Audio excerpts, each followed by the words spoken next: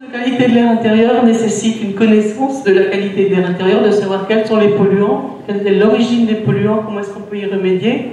C'est la raison pour laquelle a été créée il y a longtemps déjà, en 2001, une structure interministérielle entre le ministère en charge de la santé, de l'environnement, du logement, l'ADEME et l'ANSES, avec comme opérateur le centre scientifique et technique du bâtiment, quelque chose qui s'appelle l'Observatoire de la qualité de l'air intérieur. C'était à la demande à la fois des métiers du bâtiment et à la demande des médecins qui se sont rendus compte qu'il y avait une augmentation assez rapide de l'asthme et des allergies et qu'il y avait peut-être aussi une influence directe du milieu de vie, comme on passe beaucoup de temps à l'intérieur, il s'agissait d'avoir des connaissances. Alors l'air intérieur, bien sûr, les sources de pollution sont variables. Ça peut être la structure même, c'est l'air qui vient de l'extérieur. Ça peut venir aussi du sol et de l'eau. Il y a la question des bioeffluents, les bioeffluents, des bactéries, des moisissures, moisissures qui sont des polluants très, très importants.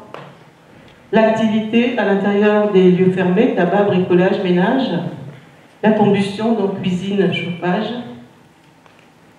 tout ce qui est ameublement, décoration, même les plantes euh, posées comme ça pour euh, faire joli.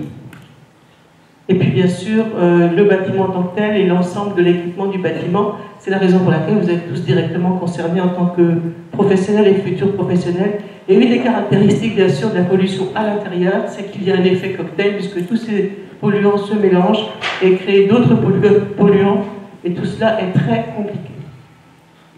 Alors ça peut entraîner des pathologies, je ne vais pas trop en parler puisque ce sera un des sujets de l'exposé, soit lié à la confort, le confinement, ça veut dire qu'il y a trop de CO2. Ce pas des gros polluants, mais c'est un marqueur de pollution, les odeurs, la température, l'humidité. Ça peut avoir une approche quand même avec des conséquences symptomiques, irritation de la peau, des yeux, du nez, de la gorge, les maux de tête, la fatigue, et les baisses de performance. Il y a de plus en plus d'études scientifiques qui font la démonstration que si l'air n'est pas assez renouvelé, si n'est pas d'assez bonne qualité, notamment dans les lieux d'enseignement, les performances baissent. Il y a des conséquences directes sur la possibilité de se concentrer, sur aussi euh, la fatigue. Tout cela a un nom anglais qui est Sick Syndrome, SBS, et en français Syndrome des bâtiments médecins. Mais les conséquences peuvent être plus graves, des maladies, asthme, infections respiratoires, légionellose, des risques liés à la reproduction, des risques neurologiques, des cancers du poumon notamment, AVC, maladies cardiovasculaires, sclérose en plaques. Au fur et à mesure que les congrès médicaux se multiplient, ben, les conséquences aussi sanitaires d'une mauvaise qualité de l'air sont mises en avant. Donc c'est un vrai sujet, c'est pas quelque chose pour les bobos ou qui est rigolo, c'est un vrai sujet. Donc comme je disais, en 2001, il y avait des scandales, vous vous souvenez, pour les plus âgés, le scandale de l'amiante. La recherche sur l'amiante était financée par les industriels de l'amiante. Donc les résultats étaient des résultats qui étaient plus ou moins déterminés par l'industrie elle-même. Et il y a un ministre qui était ministre du logement de l'époque, qui s'appelait Besson, c'est pas, pas le cinéaste, mais le maire de Chambéry, je crois, qui a dit qu'il fallait avoir une structure qui soit une structure qui puisse fournir de la connaissance la plus objective possible. Donc une structure exclusivement financée par euh, vos impôts, de la présidence m'a été confiée, j'étais à l'époque euh, responsable associative, donc euh, ni dans l'appareil d'État, ni euh, du côté des médecins. La gouvernance est assez intéressante parce qu'il y a un conseil de surveillance avec bien sûr les financeurs, un conseil scientifique avec l'ensemble des disciplines médicales et un comité consultatif qui réunit aussi les professionnels du bâtiment, par exemple l'AQC fait partie du comité consultatif, Atmo France a aussi des personnes qui font partie du comité consultatif, mais aussi pour certaines du comité scientifique, les, associations environnementales. Donc c'est une gouvernance qui est assez intéressante et qui était assez innovante à l'époque.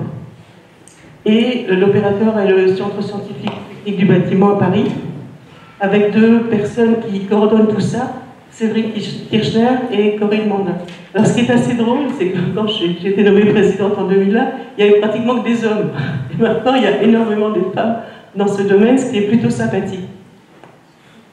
On travaille avec un réseau pluridisciplinaire de partenaires et comme je le disais, les financements sont 100% publics, ce qui pose aussi des problèmes parce que très souvent, on est un petit peu coincé quand on sait que dans trois mois, il y a des échéances importantes et qu'il n'y a pas les sous en face. Je vous laisse deviner les angoisses.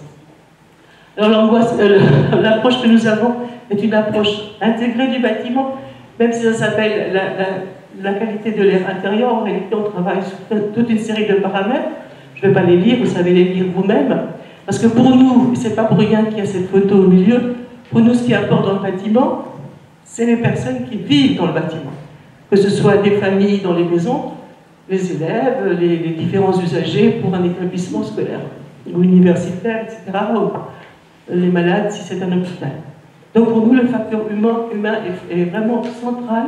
Et je pense que c'est aussi lié au fait qu'il y a énormément de femmes qui travaillent là, qui disent, bah, ok, peut-être qu'il y a des objectifs énergétiques, mais le plus important, c'est que les gens ils sont bien là où ils vivent. Alors on a organisé toute une série, on a une approche statistique puisqu'on a travail, on fait un travail scientifique. On a réalisé toute une série de campagnes, une campagne nationale logement entre 2003 et 2005, qui nous a permis de disposer de données considérables qui servent de base maintenant à des recherches qui sont faites par l'ensemble des partenaires. On a fini une campagne nationale école, donc qui a été présentée, dont les résultats ont été présentés l'année dernière. On est en train de travailler avec campagne nationale bureau, et puis, ce qui est intéressant, c'est qu'on travaille aussi au fil de l'eau sur des bâtiments performants en énergie. Et là, euh, le, fait de disposer d'un outil comme l'Observatoire pour les pouvoirs publics était intéressant dans la mesure où parfois on lance des politiques et on se rend compte 10 ans, 15 ans plus tard que ce n'était pas forcément comme ça qu'il fallait faire. Alors avec l'Observatoire qui mesure tout de suite, soit en phase chantier, soit au moment de la livraison, soit 6 mois plus tard ou un an plus tard, qui... Euh, euh, peut-on faire des mesures Ça permet aussi de faire évoluer la réglementation, la connaissance vers les professionnels, etc. Et là, on est en train de travailler aussi à une campagne nationale vers les établissements sociaux et médico-sociaux, donc tout ce qui est EHPAD, c'est aussi des lieux où les personnes sont présentes très longtemps. Alors d'abord, bien sûr, il s'agit de hiérarchiser les priorités. Qu'est-ce qu'on va mesurer? Parce qu'il y a des milliers, des milliers, des milliers, des milliers de polluants. Je peux vous laisser le, PowerPoint, hein, vous n'avez pas besoin Les milieux de polluants, donc là c'est le conseil scientifique qui procède à la hiérarchisation. Pour la campagne logement, ça a duré deux ans, période chauffe, période non chauffe, et on procède de manière statistique, donc on a à la fois des éléments qui concernent une maison troglodyte ou bien le château, et ce n'est pas forcément la maison troglodyte qui a une qualité de l'air euh, en plus mauvais état. Donc c'est une campagne qui a concerné toute la France, donc aussi euh, l'Alsace, mais pas le Haut-Rhin. Avec euh, des paramètres biologiques, physiques et chimiques qui ont été étudiés. Et on s'est rendu compte assez vite qu'il fallait travailler aussi sur la question des d'air, puisque les systèmes de ventilation, même quand ils existent, peuvent ne pas être performants et très souvent ne sont pas suffisamment performants.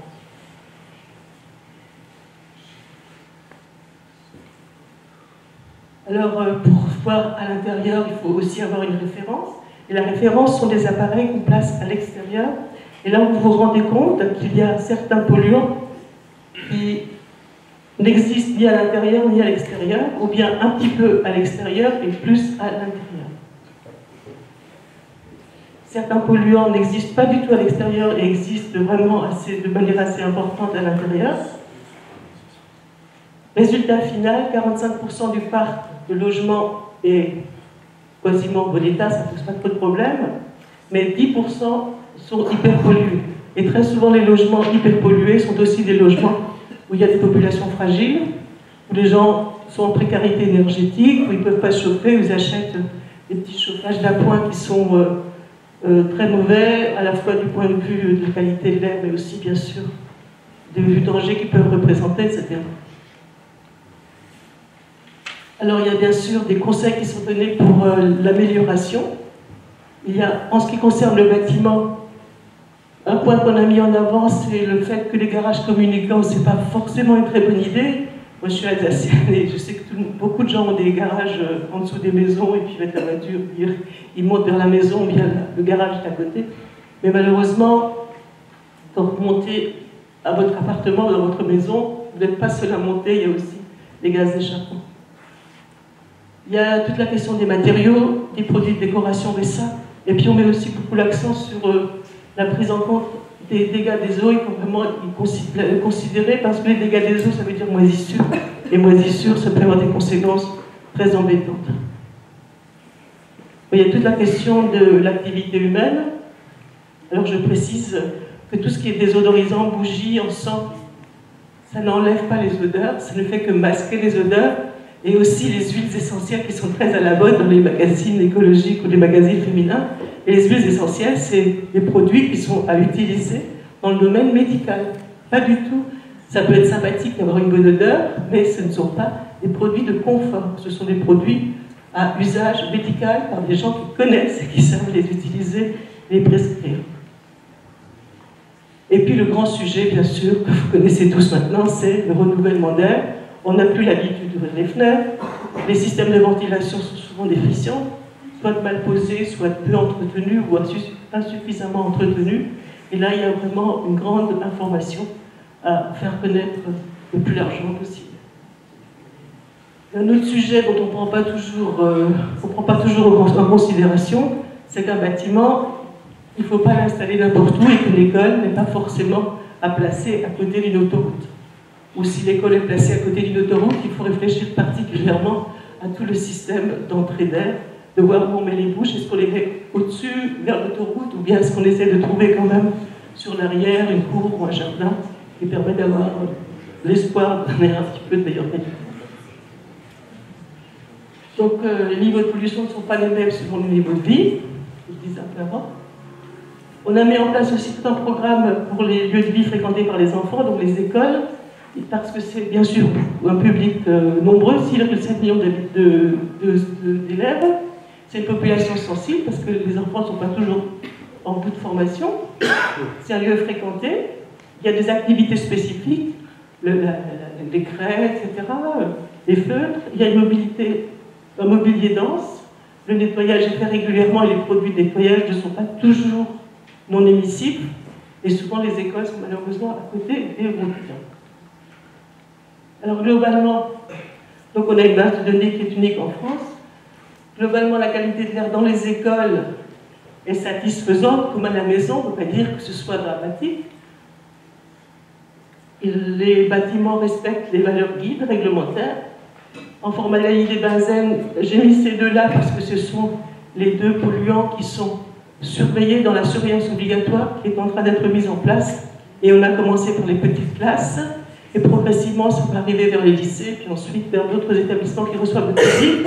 Et c'est sur deux polluants, formaldéhyde benzène, et sur le CO2 qui est un marqueur de pollution. Les valeurs limites sont jamais dépassées dans notre étude, mais je suis aussi élu de Schiltigheim et j'ai trouvé des des écoles où les valeurs limites étaient dépassées.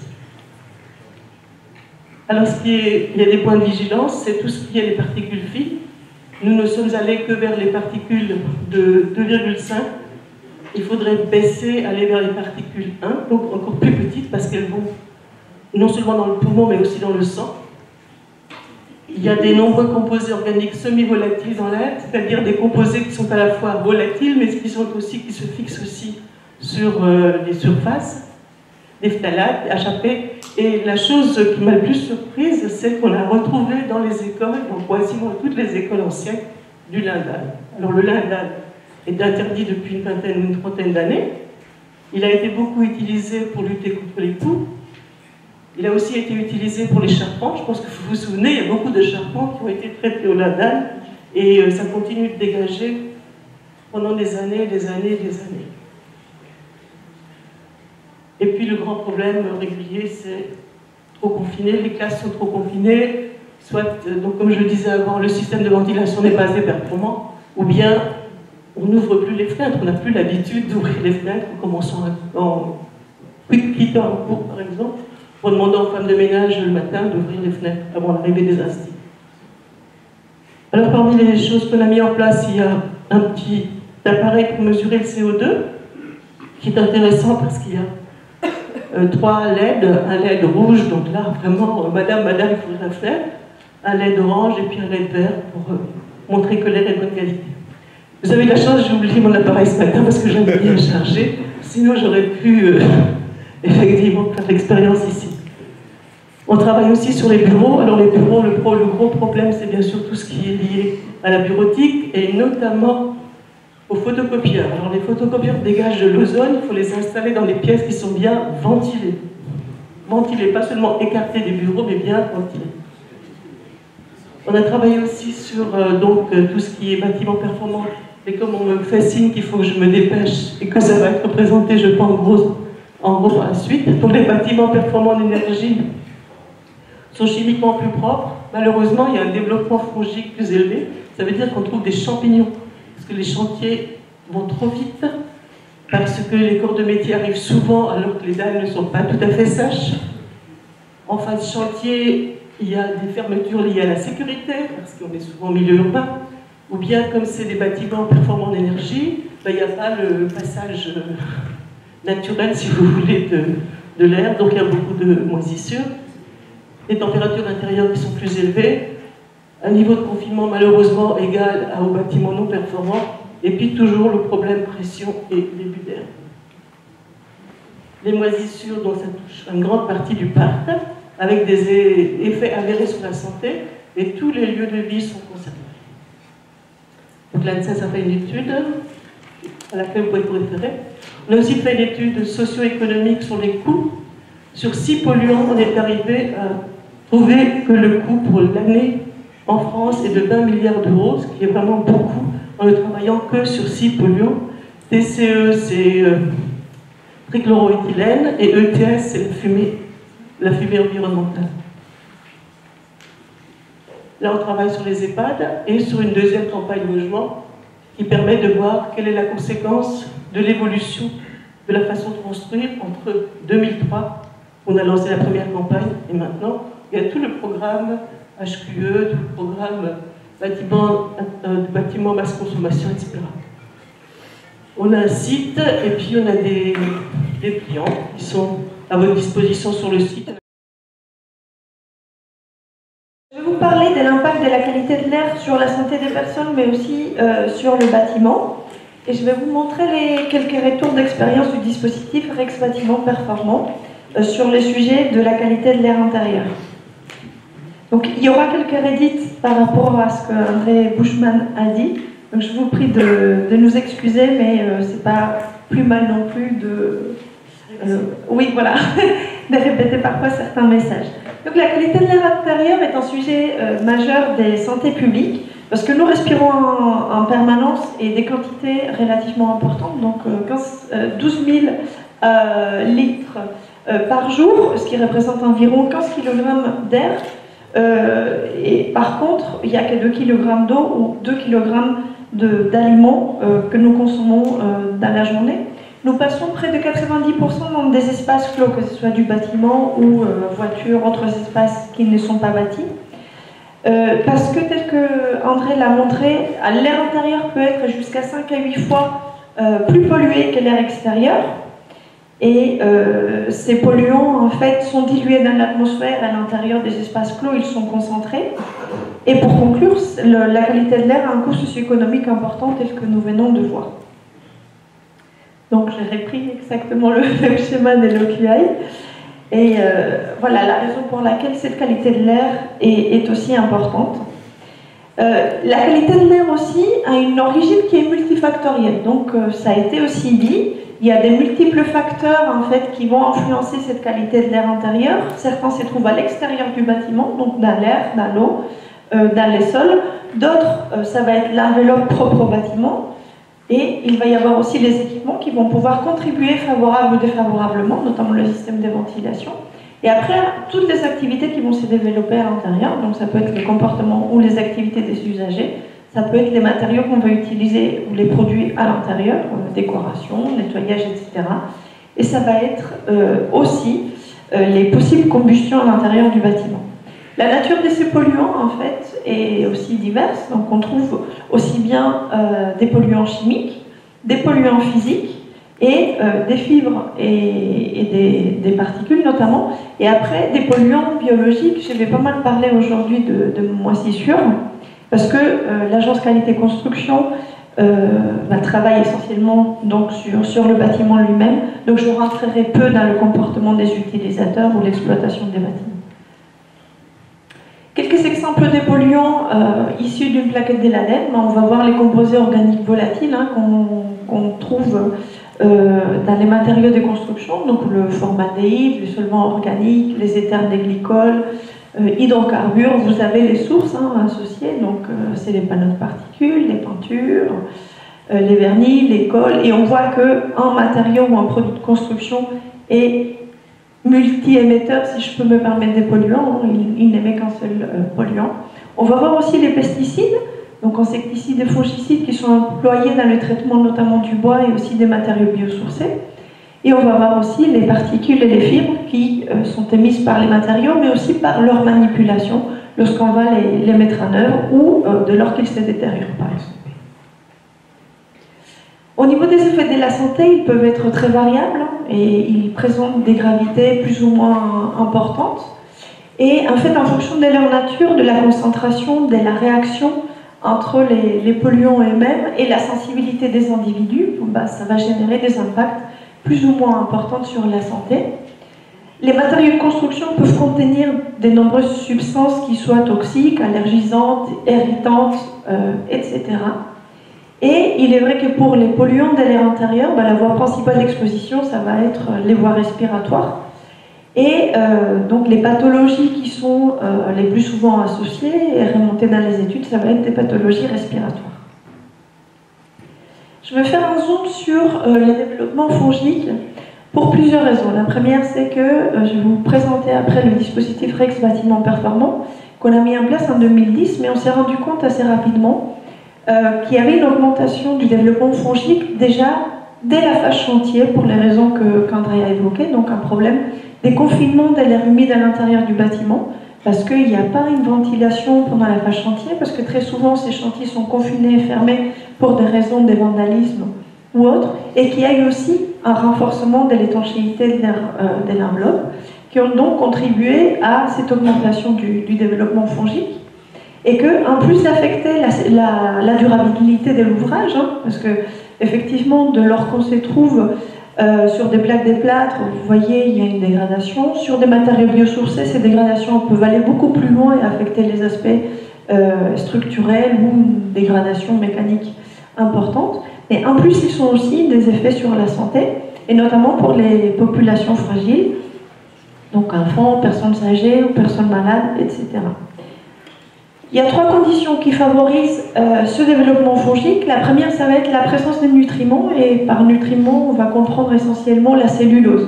Donc cette cellulose, elle se trouve euh, dans des nombreuses sources dans le, dans le, bâtiment. Donc on va la trouver au niveau des matériaux biosourcés, on va la trouver sur le bois, on va la trouver sur les cartons des plaques, sur les crafts des isolants, et d'une manière générale, dès lors qu'il y a des poussières ou des oui, qui se sont générées, ou des particules, en fait, des celluloses, de lors qu'on va penser, de lors qu'on va euh, découper un matériau, bah, ça va euh, s'étaler dans l'air et on va, on va retrouver ces poussières un peu partout dans le bâtiment. Le deuxième facteur, ça va être le taux d'humidité. Hein, et euh, élevé, donc on va être entre 60 et, et 80% de, de, de, taux et des températures, euh, pardon, des températures comprises entre 5 et 25 degrés. Et l'humidité, en fait, on la trouve euh, en nombre dans le bâtiment. Il y, a, il, y a des, nombreuses sources dans le bâtiment. Ça va être dans les produits de construction eux-mêmes, de leur qu'on un filière humide. Ça va être aussi l'absence des, des, protections des matériaux lorsqu'on les transporte, on les stocke et on les, mise on les met en œuvre mais sans protection. Ça peut être aussi des, infiltrations accidentelles pendant la phase chantier, euh, voire après. Et après, ça peut être aussi de la condensation au sein des parois, s'il n'y a pas euh, une étude suffisamment posée euh, sur la migration de la vapeur d'eau, par exemple. Le contexte réglementaire vis-à-vis de la qualité de l'air, il a, il a évolué. Hein. Euh, grâce au plan national sécurité santé, il y a une prise en compte progressive dans le milieu euh, du bâtiment, avec notamment l'interdiction des substances cancérogènes, mutagènes ou reprotoxiques qui ont interdit l'utilisation euh, de certaines substances, sauf avec un taux de concentration extrêmement faible. Ça va être notamment le cas du trichloroéthylène, benzène et des certains phtalates. On a vu aussi paraître l'étiquetage des matériaux de construction vis-à-vis euh, de l'émission de composés organiques volatiles euh, avec des classes qui vont des A+, à C, C étant la plus émissive, qui visent 10 polluants uniquement, plus les COV totaux, qui a induit par ailleurs une évolution aussi de la formulation des matériaux euh, des constructions pour être mieux classés, mais euh, qui est autodéclaratif. Donc, c'est-à-dire, c'est un pas en avance, c'est très bien, on est en avance par rapport à beaucoup de pays en Europe, mais il faut savoir qu'il n'y a pas d'obligation de faire les tests, il y a obligation d'imposer l'étiquette. Et ça ne vise qu'un produit en particulier, ça ne vise pas par exemple un complexe ou un système de produits. Et pour conclure, ben, on va trouver la surveillance de la qualité de l'air dans certains ERP, donc avec deux décrets, et euh, qui concerne la surveillance régulière de la qualité de l'air euh, par les propriétaires à travers deux, moyens. La première, ça va être l'évaluation des moyens d'aération. La deuxième, ça va être la mesure des substances chimiques, donc le benzène, le formaldéhyde ou le euh, LSE2, tous les 7 ans, ou la mise en place d'un plan d'action euh, pour la qualité de l'air intérieur, en parallèle, suivant un guide. Comme André l'a dit tout à l'heure, elles sont applicables aux bâtiments recevant la petite enfance, donc les crèches, euh, les maternelles, les écoles élémentaires, euh, depuis le 1er janvier 2018. Et cela le sera aussi dans les lycées et collèges à partir du 1er janvier 2020. Vous avez ici un petit schéma récapitulatif, donc évaluation obligatoire dans tous les cas pour les moyens d'aération de l'établissement tous les 7 ans, et en parallèle, soit le choix entre la mise en œuvre d'un programme d'action de prévention pour la qualité de l'air intérieur, soit la campagne des mesures de la qualité de l'air pour les trois polluants, ciblés. Avec des moyens d'action, effectivement, si jamais il y a des dépassements par rapport aux, valeurs guides. Ce qu'il faut savoir qu'entre la qualité de l'air et le bâtiment, on a vu qu'il peut y avoir un certain nombre d'interactions, mais euh, elles sont très larges. Donc il y a déjà l'environnement extérieur, hein, tous les polluants extérieurs qu'on a cités. Il va y avoir les matériaux de construction eux-mêmes, mais il va y avoir aussi la performance euh, de l'enveloppe qui peut avoir une incidence, on va le voir par des exemples tout à l'heure, notamment la performance thermique et la performance au niveau de la perméabilité à l'air et à la vapeur de l'enveloppe. Il va y avoir aussi une interaction entre euh, le système de ventilation et climatisation notamment, donc les, les, les, systèmes et les équipements. Et on va voir aussi qu'il y a les aspects organisationnels, notamment pendant phase chantier, qui vont avoir un, rôle à jouer en plus du comportement de l'usager. Je vais rentrer dans le dispositif Rex Bâtiment Performant, qui est en fait une étude qualitative des terrains qui visait euh, l'identification euh, des risques émergents lié à l'anticipation de la réglementation RT 2012. Donc après, ça a évolué, ce n'est pas uniquement sur les aspects thermiques, ça va être aussi sur d'autres aspects environnementaux. Et on cible donc tous les bâtiments performants, qu'ils soient euh, thermiquement ou environnementalement. Et depuis euh, quelques années aussi, on vise donc euh, l'aspect sanitaire. Et l'objectif de ce dispositif est bien évidemment de pouvoir euh, faire monter en compétence les filières. Et son principe, c'est l'apprentissage par l'erreur. Comment il fonctionne? On va visiter des bâtiments. Il y a un enquêteur qui se déplace, qui va visiter le bâtiment pendant une demi-journée, qui va rencontrer des acteurs sur les terrains qui ont participé à la construction, à la conception ou à la mise en œuvre de, de ce bâtiment. On va capitaliser cette information dans une base de données ensuite on va analyser ces données et puis on va les, valoriser euh, par différents moyens, notamment des événements comme aujourd'hui. Et je vais rentrer maintenant euh, dans les différents constats que nous avons pu euh, effectuer sur, sur les terrains. Donc ça c'est récurrent, donc on constate une absence de protection des différents matériaux de construction pendant la phase chantier. Donc aussi bien lors du transport que lors du stockage, une fois qu'ils ont été mis en œuvre. Qu'est-ce qu'il va se passer? Ben, Qu'on va très souvent mettre des matériaux qui sont humides dans la paroi, et une fois mis en œuvre, on n'est pas certain que cela, que, en fait, que la paroi ou que l'isolant ou que le matériau en question va sécher. Donc la bonne pratique associée, ça va être par exemple soit des bâchers, soit de créer des chapiteaux ou de mettre en, œuvre des, couvertures qui permettent de protéger les différents matériaux euh, des, conditions euh, ambiantes et notamment de, de, la pluie.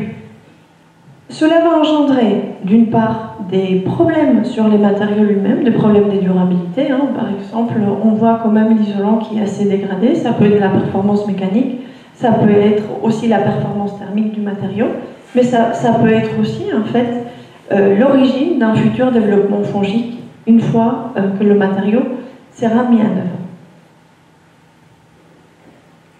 On va trouver aussi certains matériaux de construction euh, qui sont très émissifs, hein, même plusieurs années après leur mise en œuvre. Donc, je ne l'ai pas évoqué tout à l'heure, mais notamment les périodes de canicule peuvent engendrer en fait une émissivité plus forte ou une augmentation de l'humidité de l'air et euh, va rendre en fait plus d'émissivité, plus de dégazage de la part des matériaux. Et euh, donc, il faut être très attentif. J'ai oublié de le dire tout à l'heure, l'étiquetage des produits de construction, encore une fois, ne n'interdit pas la mise sur les marchés des matériaux les plus émissifs. Donc, si l'on veut appliquer le principe des précautions, il faudrait appliquer essentiellement des matériaux à plus.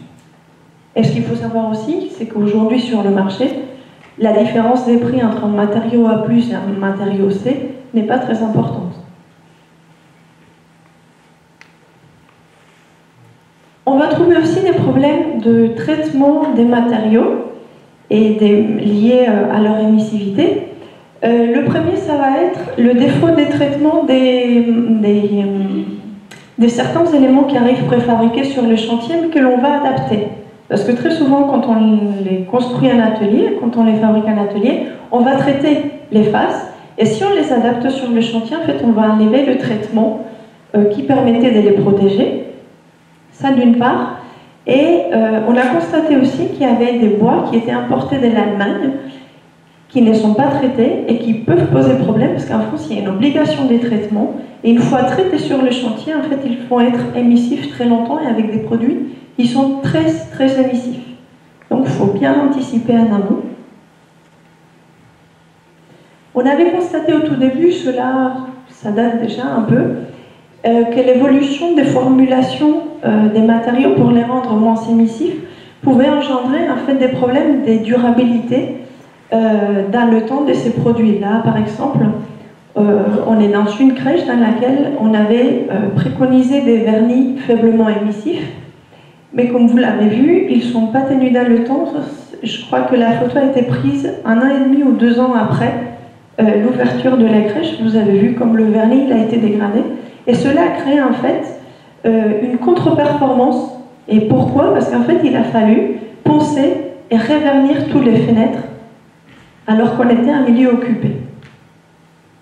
Donc ce qui s'est voulu en fait une performance est devenu une contre-performance parce que le matériau n'était pas suffisamment durable. Et on l'a constaté aussi pour certaines peintures qui étaient euh, peu couvrantes. Je vais passer maintenant à la performance de l'enveloppe. Vous voyez ici une photo en fait où vous pouvez constater des ponts thermiques qui sont euh, relativement importants et engendrés par des discontinuités euh, bah, de l'isolant sur, euh, sur la paroi. En fait, ces ponts thermiques vont pouvoir engendrer, comme vous le voyez du côté intérieur, des condensations qui vont à la fois pouvoir être à l'origine en fait des développements fongiques. Pourquoi? Parce qu'en fait, tous ces points euh, fragiles en quelque sorte au niveau de l'enveloppe vont devenir euh, des autoroutes pour l'humidité et vont peut-être donner lieu à des condensations euh, pendant la vie Et on trouve exactement la même problématique avec les discontinuités de l'étanchéité à l'air de l'enveloppe, hein, avec ses défauts qui vont générer des fuites parasites et encore une fois des points fragiles euh, qui peuvent engendrer par la suite des condensations.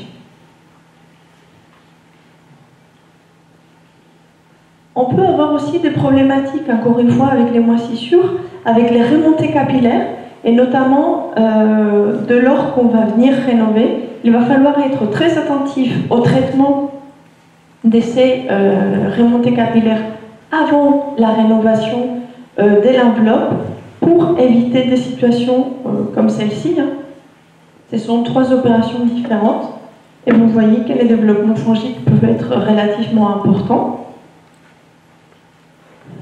Je m'en passe ici, je crois que c'est assez illustré.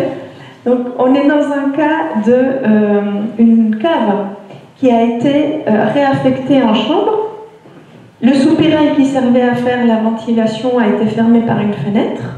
Et en fait, il n'a pas été prévu de mettre un système de ventilation en parallèle.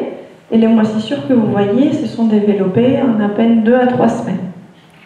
Donc il a fallu évidemment mettre un système de ventilation en parallèle et réassainir le, mur pour pouvoir euh, le réaffecter. Je vais parler maintenant du système de ventilation. Et sur le, système de ventilation, il faut savoir que près de la moitié des installations en réciprocal en France ne sont pas conformes à la réglementation. D'accord? Donc, c'est un sujet sur lequel il faut vraiment s'épancher. Je crois qu'il y a une présentation à la fin de la journée sur le métier de ventiliste. Je pense que c'est très très important. Et euh, vous avez ici, par exemple, un problème dans la conception et le choix du, système de ventilation. Euh, nous sommes dans un bâtiment d'habitation qui a été rénové, euh, qui a une forme en L. Et plutôt que de faire le choix de mettre deux systèmes de ventilation indépendants, un par bâtiment, il a été fait le choix de mettre un seul à l'angle. Le problème, c'est que les conduits, comme vous pouvez le voir, sont très longs. Il y a beaucoup trop, parce qu'on est un système double flux. Et cela va engendrer des pertes des charges très importantes qui ne permettent pas d'obtenir en fait, les débits réglementaires aux bouches d'extraction et d'insufflation. Vous pouvez voir la complexité en fait et la création de coudes que cela a engendré. Donc un, un réseau aérolique très très complexe qui découle tout simplement d'un mauvais choix du système de ventilation. On a aussi un problème de conception et dimensionnement au niveau euh, des bouches d'insufflation dans les systèmes double flux. Hein. Donc un manque de réflexion sur le positionnement déjà, sur la répartition, et euh, qui, va venir engendrer un inconfort euh, vis-à-vis de l'utilisateur, qui va chercher lui à être en situation de confort, et donc il va venir boucher les bouches d'insufflation. Problèmes aussi euh, plutôt euh, un lien avec les locaux techniques hein, et l'accessibilité des différents composants du système de ventilation. Donc vous voyez sur la première photo, c'est euh, un système double flux dans lequel il est très difficile de remplacer le filtre parce que on a un tuyau de chauffage qui passe juste devant, donc il faut vraiment le forcer à chaque fois qu'on veut le remplacer. Et sur la photo de droite, on est dans une rénovation et on a fait le choix, appartement par appartement, de euh, mettre le, système de ventilation simple flux dans un plénon dans, le, dans les toilettes. Sauf que, c'est juste une petite réflexion de bon sens, comme vous pouvez le constater, la trappe elle ouvre vers l'intérieur, elle n'ouvre pas vers l'extérieur. Étant donné que c'est un plénum et que les cloisons ont toute hauteur, en fait, il n'y a pas suffisamment de déports de la trappe pour pouvoir accéder au système de ventilation. Et donc ce moteur, il ne sera jamais entretenu et il ne pourra pas être réparé, sauf si on dépose complètement le plafond. Donc comme vous le voyez, parfois ce sont des simples questions de bon sens. On a aussi constaté des problèmes de modulation non adaptés. Là, on est dans une salle de gymnastique dans une école et euh, la modulation s'est faite par détecteur de présence. Sauf que c'est une salle qui est occupée de manière intermittente. Et donc quand on va rentrer dans la salle, les polluants ont eu le temps de s'accumuler.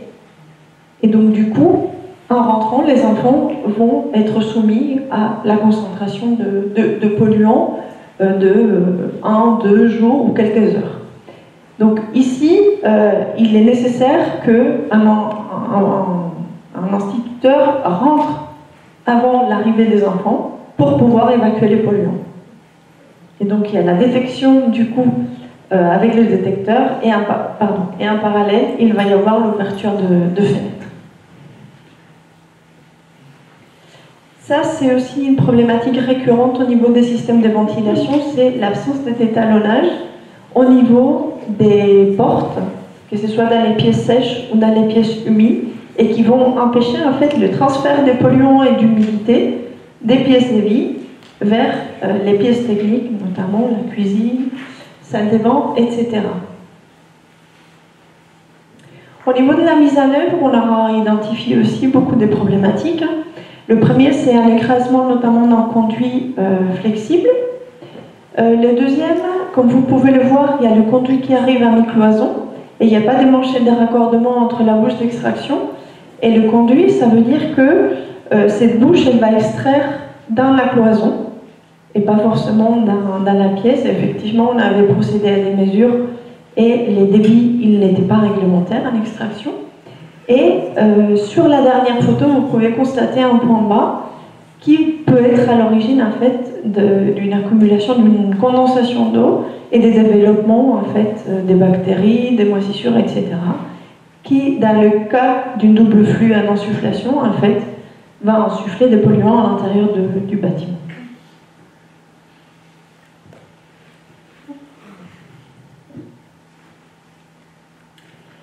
On constate aussi une absence euh, quasi régulièrement d'entretien de, maintenance. Hein. Vous voyez euh, plusieurs filtres, vous voyez aussi une bouche d'extraction qui sont extrêmement euh, sales et qui peuvent engendrer, encore une fois, des problèmes de, au niveau des débits, soit d'insufflation, soit d'extraction, hein. des débits qui sont largement insuffisants par le colmatage euh, donc des, filtres ou de la bouche d'extraction.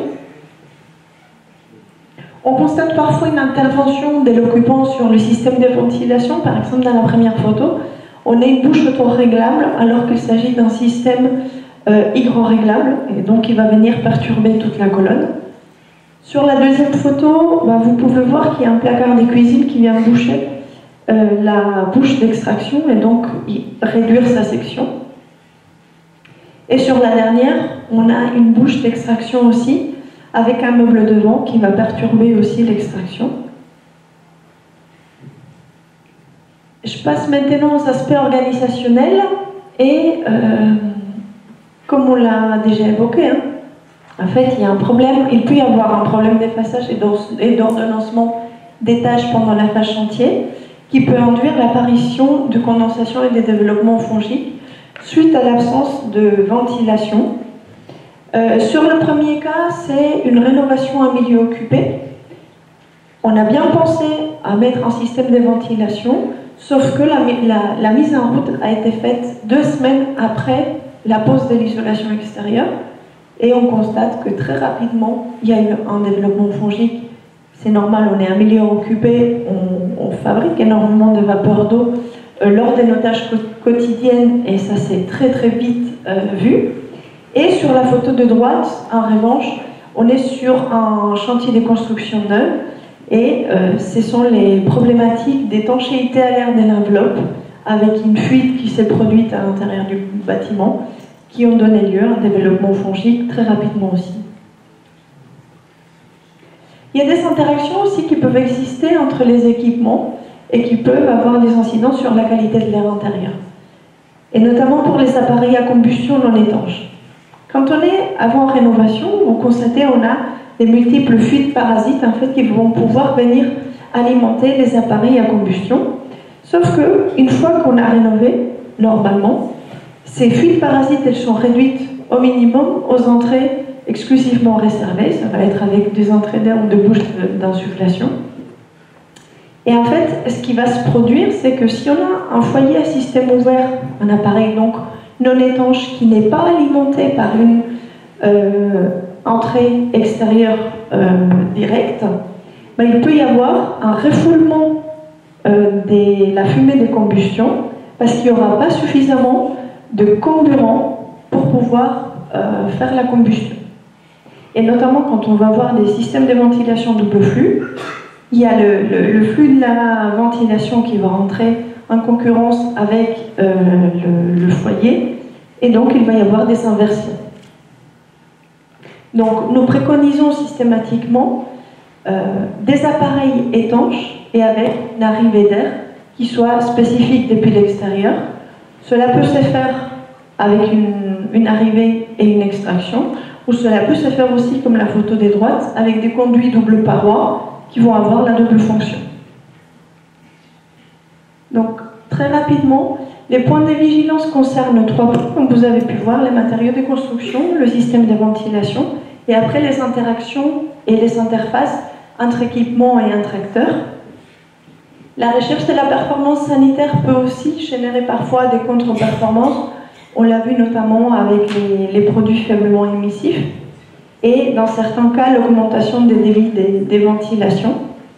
Et d'une manière générale, il faudra privilégier des réflexions systémiques qui permettent d'assurer les différentes performances euh, du bâtiment, qu'elles soient thermiques, environnementales ou sanitaires, et de maîtriser aussi leurs interactions. pour la qualité de l'air, si, si, on pouvait résumer, il y a deux principes à appliquer. Le premier, ça va être de réduire les polluants à la source par l'utilisation des matériaux euh, qui sont faiblement émissifs. Et le deuxième, ça va être de diluer et d'évacuer les différents polluants grâce au système de ventilation. Et l'autre chose à laquelle il faut réfléchir, c'est que ces principes, il faut les appliquer dès la phase programmation. Les mieux, le, plus on anticipe la prise en charge de la qualité de l'air sur une opération, les mieux elle va être euh, garantie euh, à toutes les phases. Donc pour aller plus loin, euh, nous allons sortir d'ici la fin de la semaine une plaquette sur la qualité de l'air, bonne pratique euh, de la conception. Il y aura les livrables du projet Ishakai dont je vous parlerai tout à l'heure.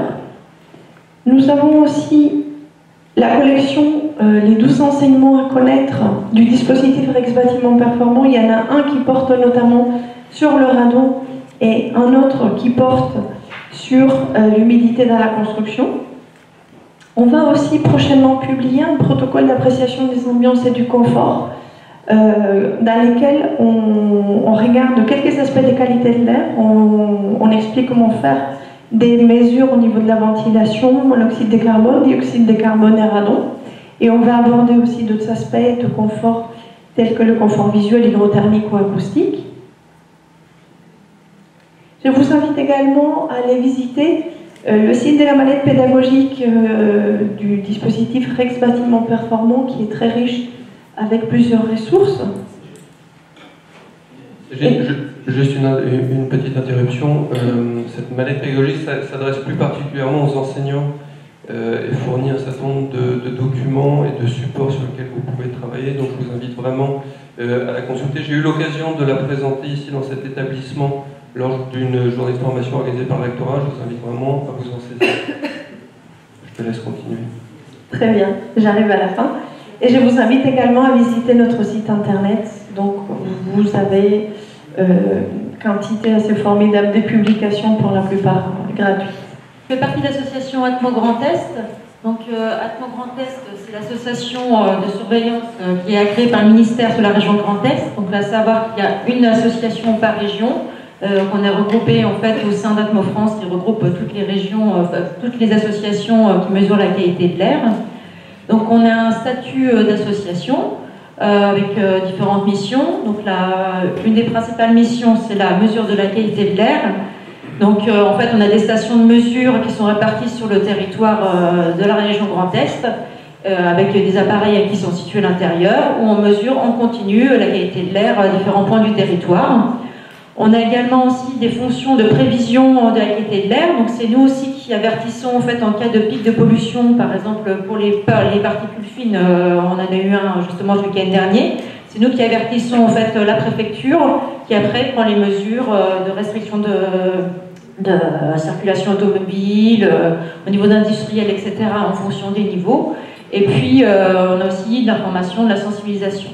Donc on a un statut associatif, on est administré par euh, différents collèges, hein. donc euh, l'État qui nous finance, les collectivités, les industriels en fait qui rejettent des polluants et qui euh, en fonction de leurs émissions vont payer une taxe dont on va, qui nous en renverser une partie, et puis les associations, personnalités, personnalités qualifiées.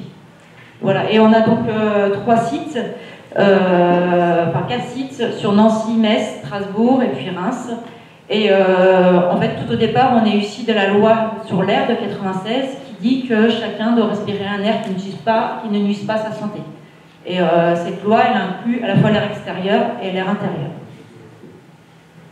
Donc là, moi, je vous fais une présentation en fait qui est plus relative. Euh, donc, on a vu les différentes sources de pollution euh, qui pouvaient euh, affecter la qualité de l'air intérieur d'un bâtiment. Donc là, moi, je vais faire plus un focus sur la qualité de l'air extérieur et comment elle peut impacter l'intérieur, les espaces intérieurs. Donc, tout d'abord sur la pollution atmosphérique. Donc, à voir qu'il y a différentes sources d'émissions de, polluants. Hein. On, différencie les sources anthropiques donc euh, la source principale qui vient du transport routier, aérien, maritime, euh, les industries hein, qui vont émettre des polluants, donc plutôt euh, en général au niveau local, mais après ça peut être transporté en interrégion au niveau national, etc. L'agriculture, donc c'est pareil, ça va être des pollutions qui vont être quand même plutôt locales, mais sur certaines pollutions agricoles, ça va se transformer, notamment pour les poussières, en polluants secondaires. Et puis le secteur résidentiel, le chauffage, etc.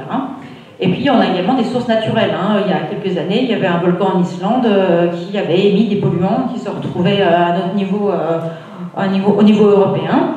Les polluants aussi qui viennent du sol. Hein.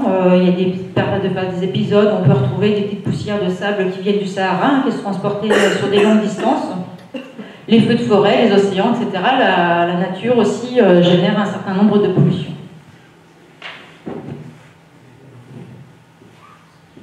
Donc on retrouve un petit peu euh, voilà, les différentes pollutions extérieures qui peuvent rentrer avec un peu plus de détails.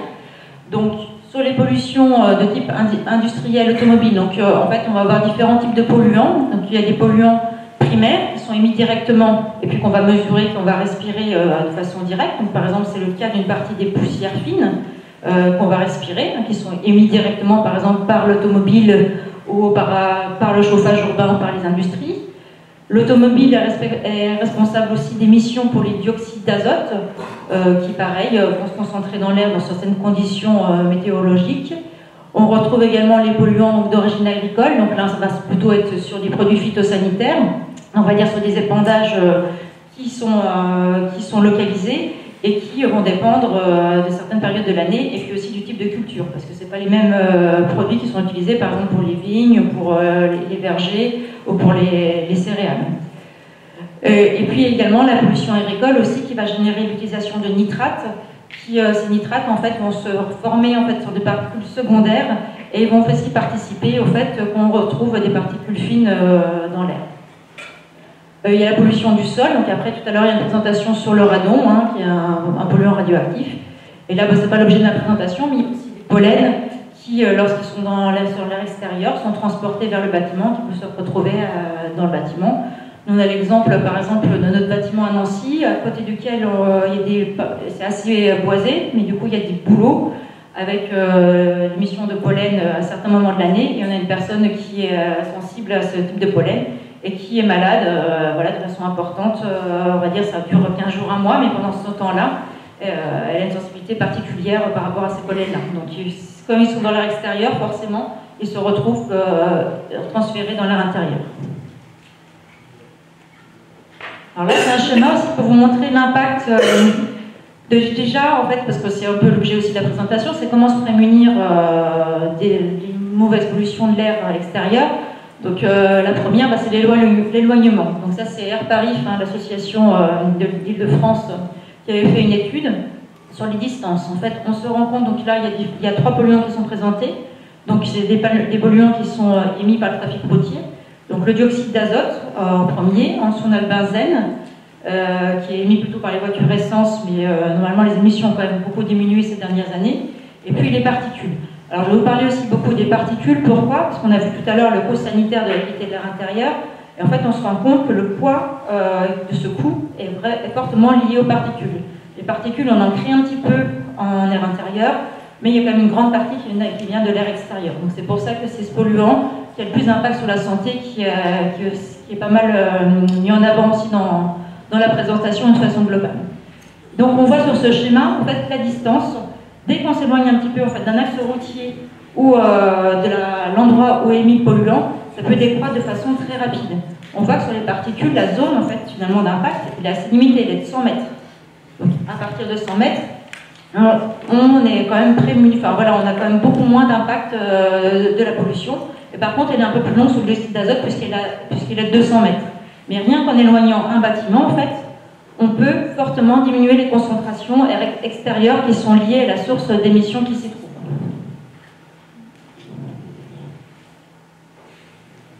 Donc là, c'est un schéma en fait qui montre euh, le transfert des différents polluants dans le bâtiment, parce que le bâtiment en lui-même, il va quand même avoir un peu un, impact de filtration. On est quand même, euh, voilà, c'est pas comme si tout l'air extérieur rentrait, mais alors après, la, façon dont le polluant rentre dépend fortement du type de polluant. Donc là, on voit en haut donc, le dioxyde d'azote qui est émis euh, par le trafic routier. On voit que, au niveau de cette étude-là qui avait été faite par le CSTB avec l'ADEME, qu'il y a 100% quasiment de ce polluant-là, dioxyde d'azote, tout ce qui est hydrocarbures euh, qui sont émis aussi par le trafic routier ou par certaines industries, rentre, 100% rentre dans le bâtiment. Donc si vous avez à l'extérieur, vous pouvez vous dire que tout est rentré à l'intérieur. Par contre, il y a d'autres polluants, c'est moins flagrant. Alors les poussières fines, donc là c'est marqué PM2,5, donc c'est les poussières fines de diamètre inférieur à 2,5 micromètres, on verra le schéma tout à l'heure. Donc c'est les, les, particules les plus fines qui pénètrent dans notre système respiratoire. On voit qu'il y a quand même 75-80% qui pénètrent dans le bâtiment. Donc quand même, au final, euh, une grande majorité. D'autres polluants, alors le SO2, c'est le dioxyde de soufre, qu'on retrouvait avant, euh, qui était lié forcément au, chauffage, enfin aux industries de chauffage au charbon. Donc maintenant, il n'y a quasiment plus de centrales charbon en France, donc on en retrouve quand même moins dans l'air. Euh, mais on voit aussi qu'il pénètre de façon importante. Par contre, l'ozone, donc l'ozone, celui-là, c'est un polluant en fait qui se forme en été. Euh, c'est un polluant dit secondaire, c'est-à-dire qu'il n'est pas émis directement. Par contre, les dioxydes d'azote qui se trouvent dans l'air, avec d'autres polluants, en présence de températures importantes euh, et d'un ensoleillement important, donc en général on est sur une période été, vont provoquer la formation de ce polluant qui s'appelle l'ozone, qui est un gaz qui est irritant. Et par contre, on voit qu'il est quand même assez filtré et que finalement, euh, il n'y a que 20% qui rentrent dans le bâtiment. donc c'est vraiment euh, très variable en fonction, des, en fonction des polluants. Mais au final, on n'a pas de protection du logement contre la pollution atmosphérique. C'est-à-dire dès qu'on va ouvrir les fenêtres, l'air extérieur va rentrer, rentrer dans le bâtiment. Donc les différents types de transfert hein, du polluant et d'échange entre l'air intérieur et l'air extérieur, donc ça va être l'infiltration à travers les fissures de l'enveloppe du bâtiment, donc au, niveau des portes et des fenêtres, l'ouverture tout simplement des portes et des fenêtres, les réseaux de ventilation ou des bouches d'entrée d'air, donc ça dépend du niveau de filtration qui se trouve au niveau du système de ventilation, mais euh, il y a certains polluants qui, euh, qui passent euh, par le système de ventilation. Par exemple, on peut voir des, hum, systèmes de modélisation de l'air intérieur, c'est encore assez nouveau, mais on commence en fait à modéliser dans une pièce comment va se comporter par exemple une concentration en polluant. Et sur ces systèmes de, modélisation, on voit que dès que la ventilation arrive, pour certains polluants, ça va le faire fortement baisser puisqu'on va apporter de l'air neuf qui ne contiendra, pas ce polluant. Par exemple, on parlait tout à l'heure du formaldéhyde. Le formaldéhyde, c'est un polluant qui est essentiellement présent en air intérieur. Donc, avec le système de ventilation, on va apporter un air neuf qui ne contient pas de formaldéhyde. Donc, euh, physiquement, on va faire diminuer la concentration. Par contre, avec le système de ventilation, par exemple, en été, on peut apporter de l'ozone, et on voit euh, sur ces simulations en fait, une diminution du formaldéhyde, mais une augmentation d'autres polluants comme l'ozone. Donc voilà, donc c'est un ensemble à, maîtriser. Après, le polluant, donc, il est aussi transporté par les occupants, les animaux, donc euh, sur, euh, sur, nos habits, etc., hein, l'imprégnation. Et puis par le sol, donc là on est plutôt sur les aspiradons, là, qui est chez moi creusé sur cette partie-là. Donc ça se résume en un schéma. Alors actuellement, il y a une expertise de l'ANSES qui euh, va aboutir sur un rapport qui va être publié euh, incessamment sur peu, parce que normalement c'était prévu en mars. Donc euh, justement, tout un rapport avec des préconisations justement sur le transfert de l'air extérieur vers l'air intérieur. Donc ça, c'est vraiment issu de, ce rapport. donc on voit les différents facteurs en fait qui, qui sont modélisés en fait. Hein. donc on voit au niveau du bâtiment, euh, les facteurs qu'on va prendre en compte, Donc il y a un facteur qui s'appelle le facteur de pénétration ou l'efficacité de, transfert. Donc en gros, c'est le taux de pénétration d'un agent d'extérieur à travers l'interface extérieure d'un bâtiment. Donc là, on est vraiment sur la pénétration. Après, il y a un autre facteur qui s'appelle le facteur d'infiltration. Donc c'est la partie, en fait, la fraction de la concentration extérieure du polluant qui va pénétrer l'intérieur. Ce qu'on calcule de façon plus facile, mais qui est un peu moins juste, c'est le ratio IE. Donc en gros, c'est simplement la concentration d'air intérieur, c'est la concentration d'air extérieur, et ça donne en fait une information sur euh, globalement le passage, euh, le passage du polluant euh, dans l'enveloppe. Mais le problème de ce ratio, c'est qu'il est dépendant aussi des concentrations intérieures qu'il prend en compte. On le voit, on va revoir après dessus, qu'il y a beaucoup de choses qui vont jouer hein, au niveau de la pénétration du polluant. Bah, déjà tout simplement sa concentration à l'extérieur, puisque euh, si la concentration est élevée, forcément il y en a beaucoup qui vont passer aussi à l'intérieur. Euh, le rôle et écran de la végétation qui peut aussi intervenir, et puis tout ce qui est météorologie, parce qu'on parlait tout à l'heure donc de lien entre la pollution intérieure et la pollution extérieure. La pollution extérieure, l'avantage, c'est que si on a des conditions météorologiques, on va dire, qui sont favorables à la dispersion, on aura des concentrations qui seront relativement faibles. En clair, quand vous avez un temps euh, pluvieux, ça rabat, les, concentrations, le vent, ça disperse la, pollution. Alors la pollution, on se retrouvera toujours, hein, mais disons qu'au niveau local, les concentrations sont plus faibles. Donc ça, forcément, si la concentration extérieure est faible, euh, à l'intérieur, elle sera faible également. Donc voilà les facteurs qui peuvent affecter le transfert extérieur-intérieur. Donc la concentration extérieure, on voyait tout à l'heure hein, qu'elle était que plus on, se recule, plus on s'éloigne, plus elle est plus elle est faible. Et puis c'est ce qu'on disait aussi euh, par rapport, euh, il y a un lien quand même entre le niveau euh, socio-économique des populations qui en général, bah, c'est ces populations-là qui se retrouvent dans des bâtiments, qui se retrouvent à côté des routes, à côté des industries, etc. Donc il y a un lien quand même assez qui a été établi entre ce niveau-là et puis l'exposition à la pollution. Donc les conditions météorologiques, ce que je disais, hein, là par exemple là, on est sur période anticyclonique, donc ça a tendance à accumuler les polluants qui se trouvent dans l'air.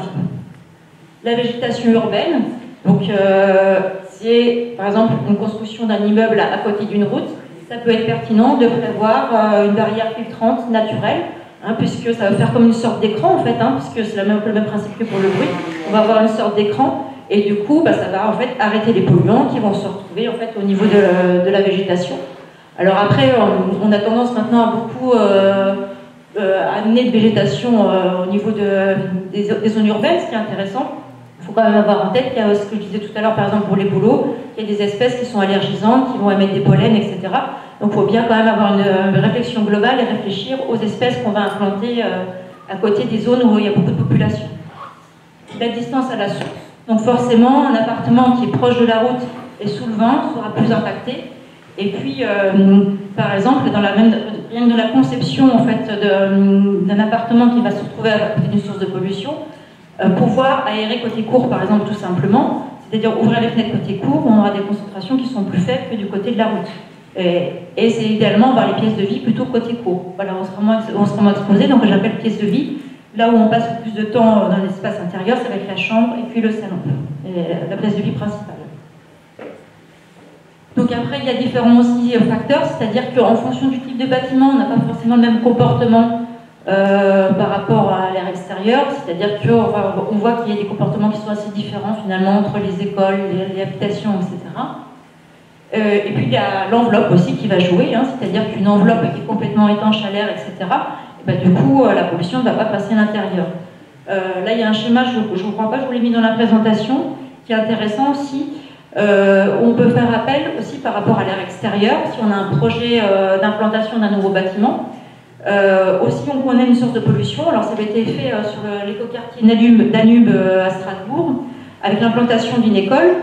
En fait on peut faire une modélisation alors euh, c'est assez long parce que du coup il faut prendre en compte toutes les hauteurs de bâtiments, etc. Les sources d'émissions, la météo, etc. On va rentrer tout ça dans un modèle.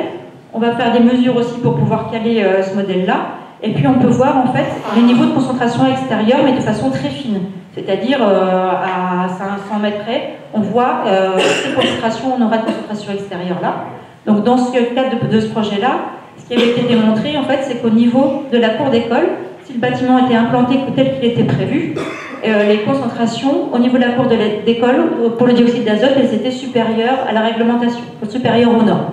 Donc on construit un bâtiment, accueillir des enfants. Alors là, je suis plus sur l'extérieur, hein, je suis plus sur la cour d'école. Après, je ne suis pas non plus dans le bâtiment. Et euh, donc après, on peut faire des simulations, à partir de là, se dire, bah, ce bâtiment, il se trouve à tel endroit, est-ce qu'on ne peut pas le reculer, est-ce qu'on ne peut pas le, concevoir différemment? Donc s'il y avait le choix qui avait été proposé, c'était de reculer justement ce bâtiment. On voyait qu'il y avait forcément une baisse des concentrations, puisqu'on a vu tout à l'heure, dès qu'on se recule, on diminue les concentrations. Mais alors après, il y a des contraintes d'urbanisme, des contraintes euh, des maîtres d'ouvrage, etc. C'est pas ce qui avait été retenu. Par contre, euh, il y avait des bâtiments d'habitation qui devaient être construits en même temps que cette école-là. Et ces bâtiments d'habitation, ils ont été rehaussés. Et en rehaussant ces bâtiments d'habitation, euh, rien que ça, ça permet de faire une baisse de concentration du dioxyde d'azote en fait, dans la cour de l'école. Donc voilà, c'est des, choses, des choses à prendre en compte. Et puis effectivement, dans ce cadre-là, l'école avait justement bénéficié d'une enveloppe très étanche, avec pas d'infiltration d'air, donc là, dans ce cadre, et une ventilation qui était maîtrisée. Donc dans ce cadre-là, euh, pas de voilà, une limitation fait du transfert des polluants de l'air extérieur vers l'air intérieur. Une importance, quelque chose d'important à prendre en compte aussi, c'est la prise d'air neuf. C'est-à-dire que si on sait qu'on a une source de pollution, eh ben, il faut vraiment, dans la conception du bâtiment, prendre en compte l'environnement extérieur et choisir une prise d'air neuf bah, du, côté, euh, du côté court ou du côté enfin, éloigné, le plus éloigné possible de la source de pollution. Voilà, mais c'est pas forcément. Enfin, c'est quand il y a un bâtiment, il faut le prendre en compte dans sa façon, voilà, dans son environnement. Voilà, la présence d'une cheminée autoconduite, hein, c'est sûr qu'à partir du moment où on a des échanges d'air, bah, forcément, euh, on va amener de la, pollution de l'air extérieur. Une la filtration de l'air qui est à prendre en compte, hein, c'est-à-dire qu'à partir du moment où l'air va être filtré, bah, forcément, on va abattre les niveaux de pollution. Et puis le taux de renouvellement d'air.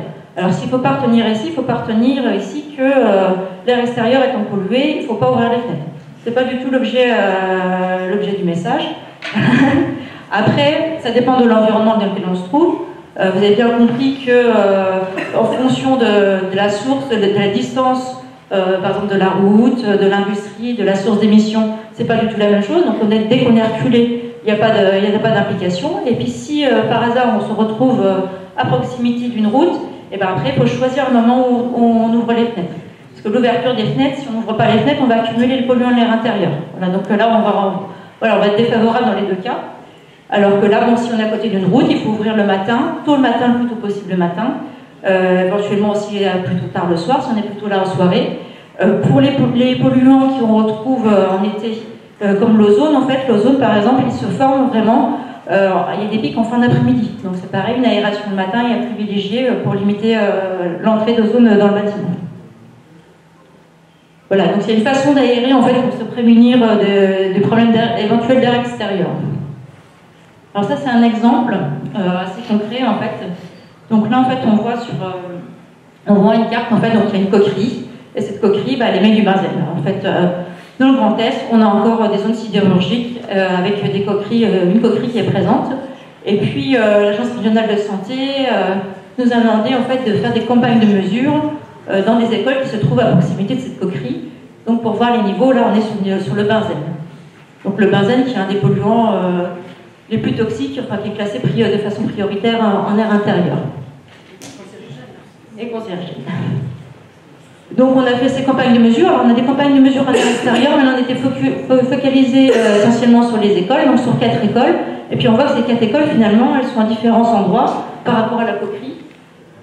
elles se trouvent à différents endroits par rapport à la coquerie. Et, euh, donc euh, on pourra voir si on voit des différences en fait en fonction de la positionnement de l'école. Donc c'est des campagnes qui sont suivies depuis 2013, en fait, qui sont, qui sont actuellement encore en cours. Donc, qu'on peut voir, donc en fait, sur le benzène, on a une valeur limite, une valeur limite qui est de 10 microgrammes.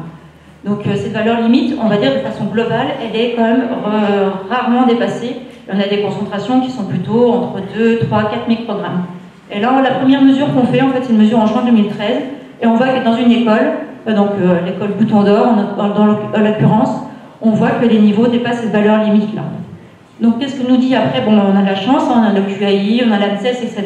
On a des, organismes de référence qui nous disent bah, si euh, on, dépasse la valeur limite, il faut regarder la concentration extérieure. Donc, à chaque fois, on avait fait des mesures dans deux pièces dans les écoles, mais à chaque fois on a fait mesure aussi à l'extérieur pour voir bah, si ça ne vient pas de l'air extérieur. Et donc la, concentration extérieure, c'est la première que vous voyez tout à gauche, et on voit bah, qu'elle est largement enfin, qu'elle est supérieure aux autres. Et puis ils nous disent qu'il faut prendre en compte une incertitude de 30%, et que si ça se recoupe, ça veut dire que ça vient bien de l'air extérieur. Donc là, on a bien la preuve que ce n'est pas des concentrations qui sont produites à l'intérieur du bâtiment, qui viennent bien de l'air extérieur. Et puis après, si on regarde les vents, la hausse des vents, par rapport à la position de l'école, on voit que bah, pendant cette période-là, l'école était située sous les vents. Donc il n'y a pas de... Euh, voilà. Donc la source, elle est bien identifiée. Et là, on voit vraiment l'impact euh, directement de la source. Voilà un autre exemple. Donc euh, là, c'était encore en 2015. Donc il y, a eu plusieurs valeurs assez élevées. On voit en fait qu'en fonction des directions de vent, si on est, sur des vents de nord, et eh ben, on voit que c'est d'autres écoles qui sont impactées. Et que finalement, eh ben, cette coquerie, euh, nous, enfin, dans le Grand Est, on a, majoritairement des vents de sud-ouest et du nord-est. Et ben, les écoles qui se sous les vents vont, vont, se retrouver avec des concentrations importantes de ce polluant dans les écoles. Donc ça illustre bien le transfert de polluants. Alors je finis juste euh, par rapport à la nouvelle norme de filtration qui, m'a été demandé de présenter cette norme. Qui a été publiée en mai 2007, hein, qui remplace la norme euh, NF 779, euh, qui est maintenant, donc maintenant il s'agit d'une norme internationale, alors qu'avant c'était une norme européenne. Donc c'est l'intérêt d'avoir en fait la même norme au niveau, au niveau international, qui s'applique au chauffage, à la ventilation, au conditionnement des bâtiments, et donc la façon de mesurer en fait l'efficacité des filtres est complètement différente, puisque là maintenant, on va se référer justement aux, particules fines, qu'on appelle particules emitter en anglais, mais sur les particules fines, et on va regarder en fait par rapport justement au diamètre de ces particules fines, euh, le niveau de, filtration en fait euh, bah, des filtres. On peut voir sur ce schéma-là, ce que je vous disais tout à l'heure, les poussières fines, donc on voit que les poussières grossières, finalement, elles sont arrêtées. Donc elles ne vont pas euh, pénétrer euh, très profondément notre système euh, pulmonaire. Et on voit que plus leur diamètre est, petit, plus elles vont aller loin. Et puis on, a, on va jusqu'au PM1 qui passe dans le sang. Et donc, donc c'est des polluants qui vont rentrer très profondément dans notre, système, le système pulmonaire. On voit la comparaison entre les, les normes. Donc actuellement, en fait, on est en période de transition, enfin courant 2018, et puis l'ancienne norme va être progressivement retirée. Donc la nouvelle norme elle est vraiment basée sur ces, diamètres de poussière, donc c'est ça qui est intéressant parce que du coup on fait un lien avec la santé. Elle se présente comment? Elle va se présenter avec des efficacités de filtre qui vont être exprimées en EPMX. Alors en gros, c'est en pourcentage euh, d'arrêt particules, par exemple, de diamètre 1 euh, micromètre. Donc pour, avoir, pour euh, pouvoir les calculer, en fait, on regarde l'efficacité du filtre qui est conditionné. Donc euh, si le filtre il arrête les particules donc de diamètre inférieur à 2,5 micromètres, il va être placé 2,5, voilà, en fonction du taux d'efficacité. Et puis après, on va regarder en fait la moyenne, le, le filtre quand il est conditionné, et puis on va arrondir au, au multiple de 5 inférieur. Donc c'est-à-dire qu'en gros, euh, un filtre par exemple, euh, ça, il va arrêter 75% des euh, poussières de diamètre inférieur à 1 micromètre. Un autre, par exemple, ça sera 50% des poussières de 2,5 micromètres. Alors c'est peut-être pas trop parlant comme ça, mais ça se recoupe, alors je vais, je vais passer à celle-ci, ça se recoupe en fait avec la concentration, on peut recouper avec la concentration extérieure qu'on veut obtenir. Donc pour les poussières fines, il y a euh, des, normes, il y a notamment une norme de l'OMS qui dit qu'on ne doit pas dépasser une certaine concentration pour les PM2,5 et pour les PM10. Donc on dit qu'on veut respecter ces valeurs de l'OMS. On regarde, par exemple, euh, si on est sur un air, bah, du coup, qui respecte ces valeurs ou qui est très pollué. Donc par exemple, là, sur ODA1, on est sur un air qui est, pollué de façon ponctuelle. Et sur ODA3, là, on est sur une grande métropole, on est sur un air qui est très pollué. Après, on regarde aussi l'occupation de, la pièce. C'est-à-dire que, est-ce que ça sert à quelque chose de filtrer finalement euh, l'air dans une salle où il n'y a personne? Pas forcément. Voilà. Donc, par contre, si dans notre habitation, dans notre chambre, ben là, c'est peut-être intéressant d'avoir un, air qui est filtré de façon assez conséquente. Donc, on regarde ça, et puis à partir de ça, en fait, on, met les deux ensemble, et puis on peut regarder. Donc, ça, reste des recommandations hein, de, de euh, ça reste vraiment des recommandations, et puis on peut regarder, ben, on se dit, ben, finalement, j'ai un air très pollué où euh, ma moyenne de PM de, 5, de, poussière inférieure à 2,5 micromètres est supérieure à 15 microgrammes. Et puis j'ai une, une, pièce qui est occupée de façon permanente. Bah, Qu'est-ce qu'il me faut comme filtre? Qu'est-ce qui est recommandé? Et puis là, on voit qu'en l'occurrence, il faut un filtre donc qui filtre 80% des poussières de, mètres inférieurs à un micromètre. Voilà. Donc c'est quand même euh, une évolution dans cette réglementation qui est importante et puis qui est orientée du coup vers la santé et qui a un lien vers l'air extérieur. Donc c'est ça qui est intéressant. Et puis on peut quand même par rapport à l'ancienne réglementation, alors c'est vrai que ça ressemble pas tout à fait, mais il y a quand même des tableaux qui permettent quand même de se, se situer par rapport à l'ancienne réglementation. Voilà, je vous remercie de votre attention.